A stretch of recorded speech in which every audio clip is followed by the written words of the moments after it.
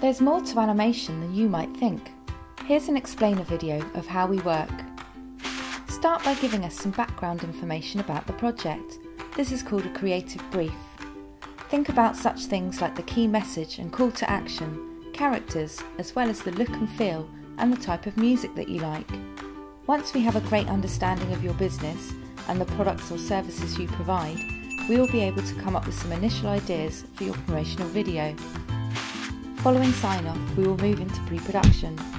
This is where a voiceover artist will record your script and visual style sheets designed for your review.